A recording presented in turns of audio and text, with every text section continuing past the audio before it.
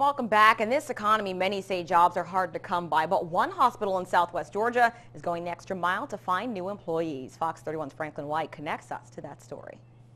Marilyn Watkins is a mother of four and is looking for a job. All of my children have been praying that I find work. Watkins is a certified nurse's assistant and hopes her experience and training will get her a job soon. It's hard. Things are getting more and more expensive. And that's how she ended up at the Georgia Department of Labor's Bainbridge Career Center. The goal is to find um, skilled nurses. Carrie Spence, HR Director for the Hospital Authority of Miller County, says because of the high turnover rate and high patient count in Miller County, they're going out of their way to find help. It is hard to find staff, um, but we know by branching out and by, by joining with Department of Labor, um, we can do that. Spence says the Miller County Hospital is actively searching for 15 registered nurses, licensed practical nurses, and or certified nurses assistants. So someone who is um, willing to speak with us, um, share their strength uh, and their weaknesses. Um,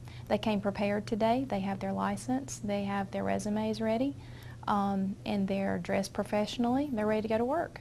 And for Watkins, she says those five words, ready to go to work, is a phrase she knows will be the final piece of the puzzle to a better life. It will be confirmation that I made the right move and that things are going to look up and things are going to be all right for me and my family.